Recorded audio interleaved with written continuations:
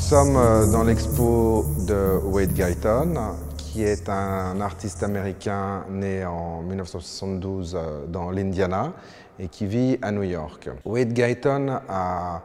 euh, acquis une reconnaissance internationale en produisant différents médiums, que ce soit de la sculpture, des peintures, du dessin ou des installations. Euh, mais il a été particulièrement euh, reconnu en produisant des œuvres qui euh, imprimaient des logos comme des X, des U ou des flammes, qui sont devenus un petit peu des icônes de l'art contemporain. Alors il dit lui-même qu'en fait c'était un processus au départ comme d'écriture, mais qu'il a préféré appuyer sur la touche X de son ordinateur que de le faire à la main. La particularité en fait de ces œuvres,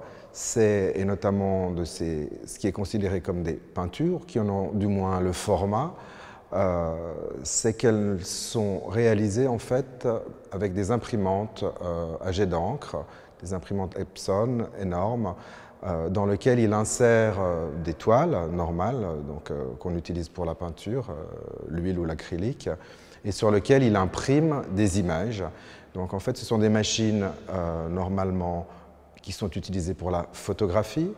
euh, qu'il utilise pour faire des œuvres qui sont souvent abstraites, mais pas seulement, puisque dans l'expo qu'il a produit pour le consortium, euh, il aborde un nouveau chapitre avec des œuvres qui sont résolument plus photographiques et plus figuratives.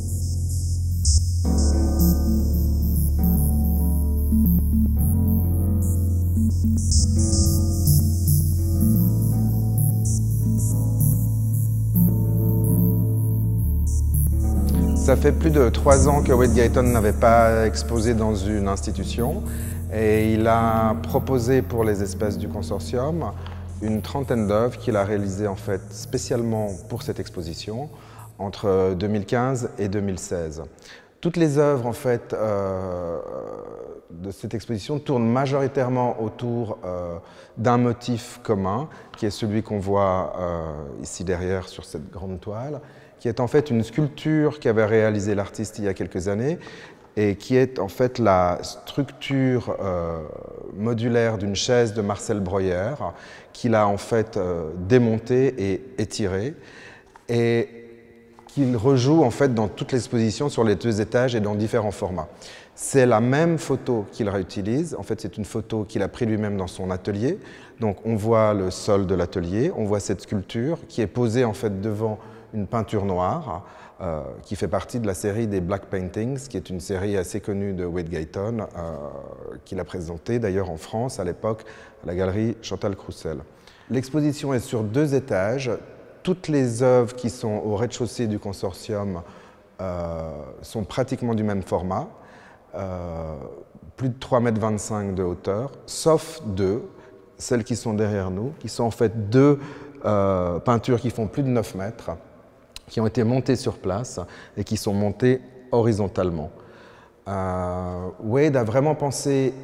chaque œuvre pour ces espaces-là. Et pour lui, en fait, ces peintures, on peut d'ailleurs le sentir ici, sont considérées aussi comme des sculptures. il y a un rapport en fait du spectateur à l'objet qui est très important. L'image à l'entrée qu'il a choisi euh, de présenter, qui est également en fait euh,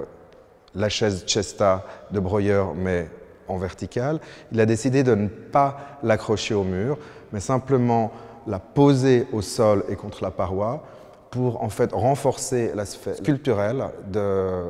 ses œuvres. Sinon, il y a des, œuvres plus abstraites qui sont en fait euh, euh, des zooms dans des bitmaps, c'est-à-dire qui sont vraiment dans l'élément informatique euh, qui est constitutif des images aujourd'hui, en fait. Euh, et donc, il zoome au plus profond euh, du pixel pour en obtenir une espèce de vision extrêmement abstraite, comme ces grandes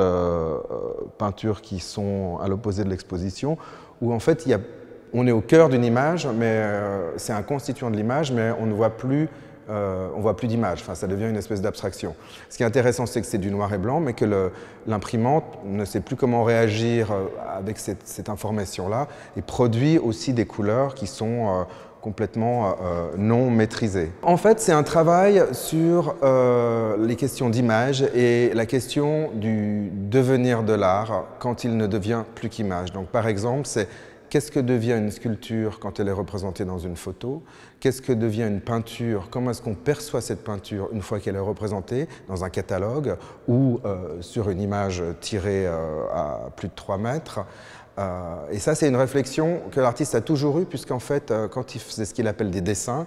il arrachait des pages de magazines d'art où il y avait des reproductions d'œuvres qui passait en fait dans ces petites imprimantes et il imprimait dessus des signes, justement des X, des U. Euh, et donc il y avait déjà cette euh, espèce de réflexion sur euh, qu'est-ce qu'une image d'une œuvre dans le monde des images aujourd'hui, dans la production des images. Et il y a un petit peu cette question en fait qui est